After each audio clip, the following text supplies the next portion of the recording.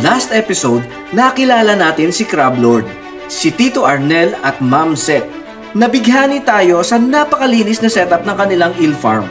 Ngayon naman, patuloy sila magbabahagi ng kanilang kaalaman kung paano mag-alaga ng eel.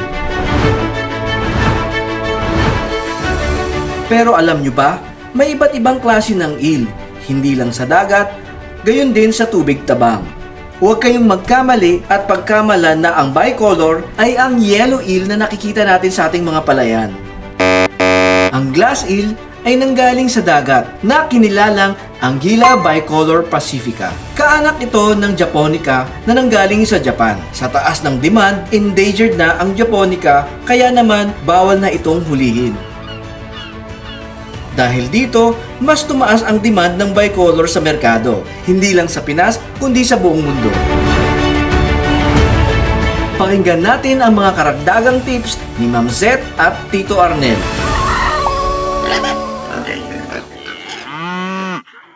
Mga ka-agri sa agri, kung gusto niyo po ang mga content ng inyo pong lingkod na si Tito J, huwag niyo pong kalimutan mag-like and subscribe sa ating YouTube channel. Maraming salamat po.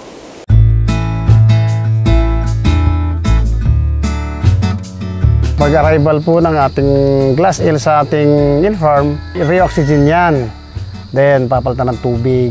Then, yung ating tubig sa fish tank, lagyan ng konting asin para... Kasi galing sa sea- seawater yan eh, ang glass eel eh, para makapag-adjust sila dahan-dahan. 3 days yun. Sa 3 days, start na namin yung paglalagay ng asin. Then, one month tutok ka dapat dyan. Kasi nga, yung oxygen dapat nasa level yung mataas yung oxygen mo, parang il natin, ang glass il natin, hindi sila may stress.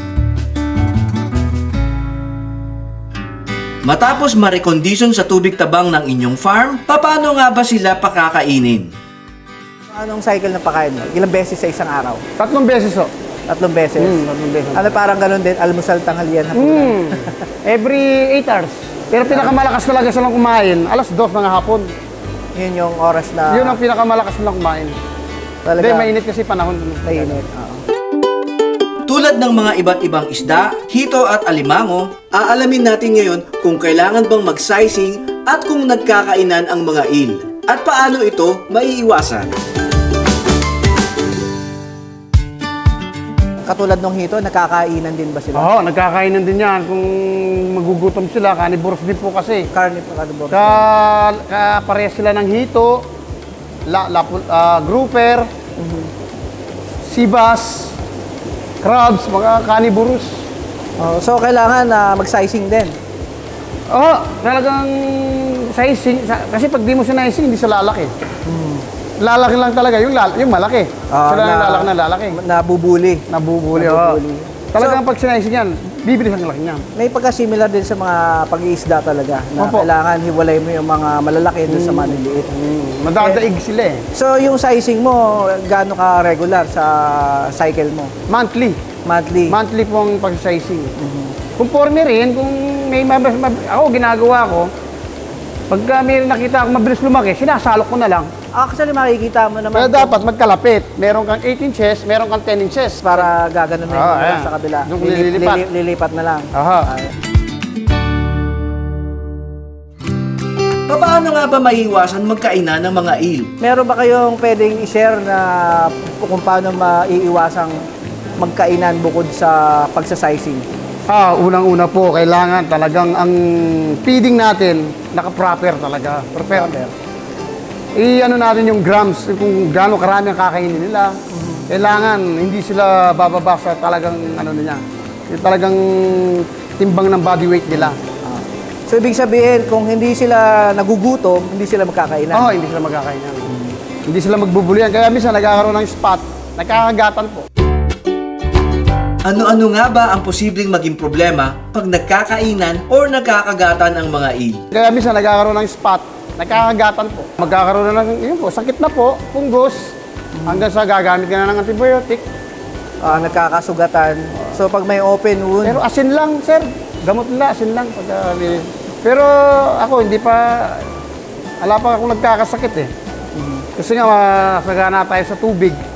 Yun po, tubig lang talaga. Kailangan laging malinis. talagang kailangan malinis. Free flow, oh, eh, So, paano ang drainage mo nito?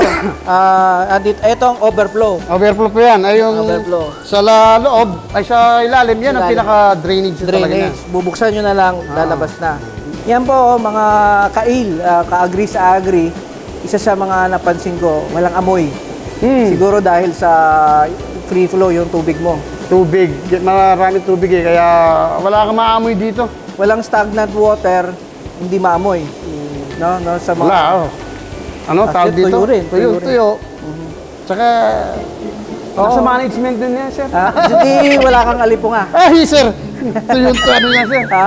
Tuyo eh. Oo, oh, tuyo, tuyo yan. Eh, siguro sa karamihan sa mga nag-iisda, ah, lagi may alipunga. Ay, Eh di, sigurado si Tito Arnel ninyo, walang, walang ala, ala po yan. Malinis po yan. Kaya, malinis. Napakasimpleng tao lang ni Tito Arnel. Sa kabila ng kanilang pag-unlad, papaano nga ba sila nagsimula? Naging boy po ako ng mga kapatid ko sa Masantol, Pampanga. Ang mga kapatid ko, namimili po sila. Ngayon, ako po yung tagatali lang ng alimango. Nang natuto ko, nagbiyahe po ako ng Paranaque. At nalaman ko kung paano yung sistema ng mga Chinese, kung paano sila mag-sizing, kung ano yung style nila. Nung una, talagang ang mga Chinese eh, ano sila, yung, yung konting pagkasalbahe. Pero hindi naman lahat-lahat. Aha, eh, pero ngayon okay na sila. Okay na sila. Kasi dapat talaga meron katulad namin na nag-guide sa mga fish pan owner. Yun nga po, tulad ni Mrs. Ano siya nag-aasikaso sa Alimango, siya yung maharap sa mga Chinese ngayon. Sa presyo naman, ako nagmo-monitor. Kung sakaling may problema sa presyo, nagre-request tayo sa mga Chinese. Kahit na nasa China pa sila, tatawagan ko para lang makikipag-bidding ako para may taas natin ang presyo ng alimango dito sa Pilipinas. Sa Alimango pala sila nagsimula at doon nabansagang si Crab Lord ng Pampanga at Paranaque. Nagsimula kami noon sa tindahan, nagbabantay, libre, lib- basta libre lang ang kain, isang maliit na kwarto, pwede na yon. Nakikitira kami doon sa tsuhin niya na Colonel sa Fort Bonifacio. Ang kwarto namin is talagang Maliit lang, sakto lang kami. Pag, pagpasok mo, higa agad yung ganon. Pero doon talagang- Doon kami nagsimulang mangarap. Doon namin inumpisahan yung bawat skills ng bawat isa, sinuportahan namin sa marketing, sa skills niya sa pagka-classify ng Crabs. crabs. Hanggang sa meron ng nag-ask ng mga tulong sa amin kung paano namin sila matutulungan ng mga fish pond owner. Napunta kami sa trading business para both side matulungan namin ang export and matulungan din namin yung mga fish pond owner na meron silang skills, may kakayahan sila na magpalaki ng mga alimango pero wala naman silang chance na mailabas ang produkto nila doon sa area na dapat eh pinagbebentahan lang nila. So, nagkaroon nga ng tsansa na between kami yung naging daan para mas tumaas, gumanda yung production natin ng crab. Sa kanilang pag-unlad, marami din ang umangat. Kaya naman minahal si Crab Lord at Ma'am Zet sa mundo ng crab business. Katuwang ang kanyang asawa, nakaka-inspire na marinig din ang kwento ng buhay ng kanilang pagpapamilya at kung paano sila nangarap. Ano nga ba ang kanilang sikreto? Nagsimula sa ibaba at napalago ang kanilang negosyo.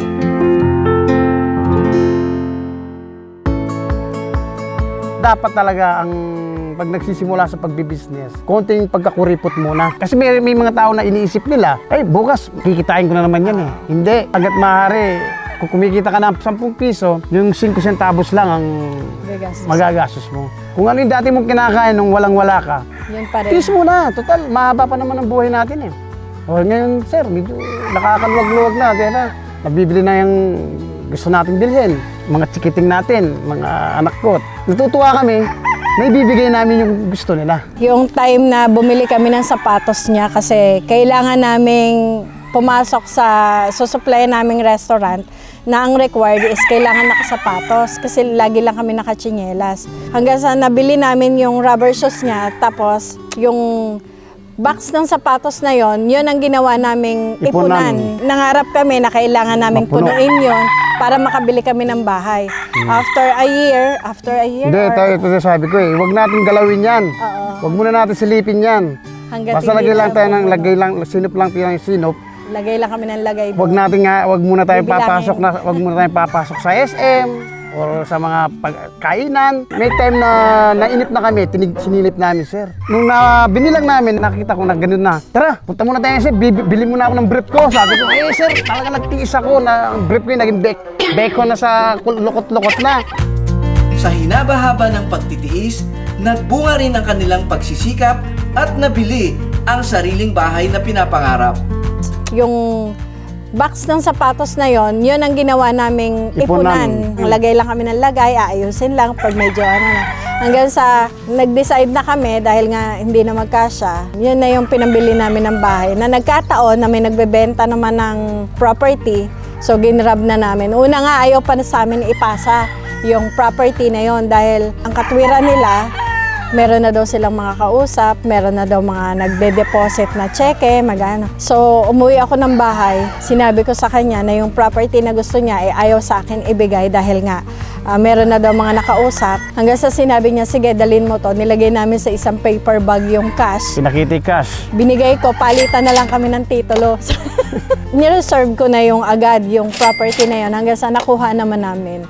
At doon na nagsimula, nagtuloy-tuloy Tuloy-tuloy yung na. negosyo na. Venas, uh, swerte yung Swerte bahay. din yung bahay. Meron ka bang treatment, chemical treatment or anything? Wala ho. Hindi ako nag-ano dyan. Ang ano ko lang dyan, yung asin ba, pagka tapos ko nag-sizing, naagisan ko lang ng isang tabong asin na may tubig siya. Yun lang po. Para pinaka-vitamins din nila. Alam nyo ba na hanggang ngayon, wala pa rin nakakadiskubre kung paano ba nagbi-breed ang mga eel. Simula pa ng unang panahon hanggang ngayon, patuloy pa rin ang pagsasaliksik ng mga scientists kung papaano sila mabibreed. Ang mga eel na ito, sa karagatan sila nagpaparami.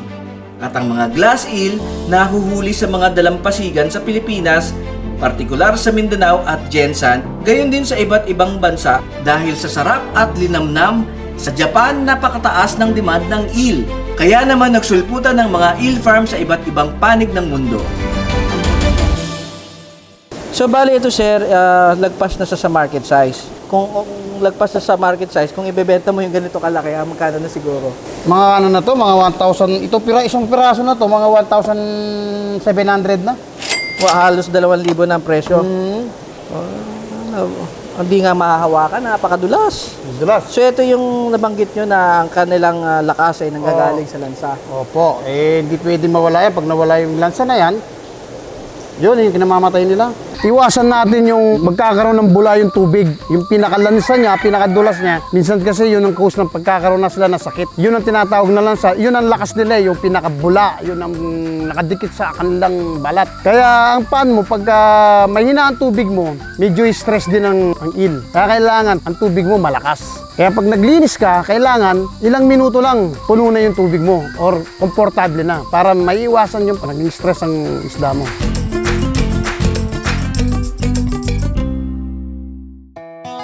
Ano nga ba ang pinaka-importanting paghandaan sa pag-aalaga ng eel? Kung gusto nyo pasukin talaga pag-aalaga ng il, unahin muna natin yung tinatawag na buyer. Bago ako nag-alaga, naghanap muna ako ng pagbabaksakan. Yun nga po, may mga kaibigan ako mga Chinese, sa ngayon nga po na inip na inip na sila eh. Bakit daw matagal lumaki? Eh sabi ko, 16 months to 18 months, pwede na yan. Kaya yun po magiging, magiging advice ko sa inyo, gusto nyo mag-alaga, yun po, kauna-unahan po yun. Isang magandang ehemplo hindi lang sa pagninegosyo, kundi sa buhay pagpapamilya sila Ma'am Seth at Tito Arnel. Mag-asawang magkatuwang sa hirap at magkasamang umasenso. Meron silang mensahe para sa ating lahat. Ang kailangan bago mo pagplanuhan, isang guni mo muna sa Panginoon para yung guidance, yung clear of your mind, magagabayan sa lahat ng desisyon na gagawin nyo as a couple. Marami kong nakikita, marami kong nakasalamuha. Mga pinag-aralan sila, sir. Samantalang ako, hindi ako, hindi ako nakapag-graduate. Pa-English-English pa. Kung mag-BS, napakagara. Pero mga scammer naman.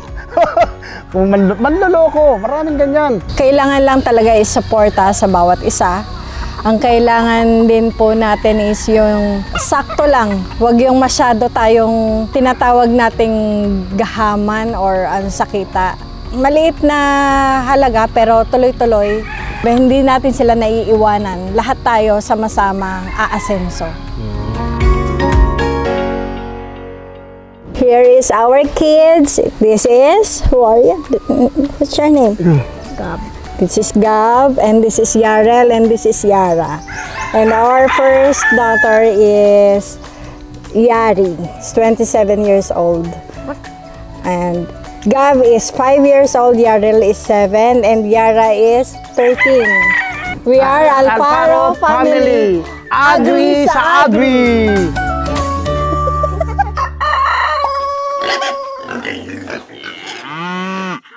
Po, Meron ka pa barang natatagong bacon dyan? wala na po. Mm, wala na. Wala nang bacon? Wala na ho. Mm. Ah, parang ako na lang tsaka ni Gabi. Sana sana yung mga bacon namin na magbago na rin. Ah, ma- 10 years from now, no? ah, Sipag-at-syaga. Taga-taga lang. Sipag-at-syaga. So, hindi masamang magkaroon ng bacon na brief. Kung after 10 years naman at nagsipag at ah, nagtyaga ka, nagtiis, eto naman ang inyong uh, makakamit. Makakabili ka na ng branded. Makakabili ka na ng branded. Branded. Branded pero bacon pa rin nata. eh.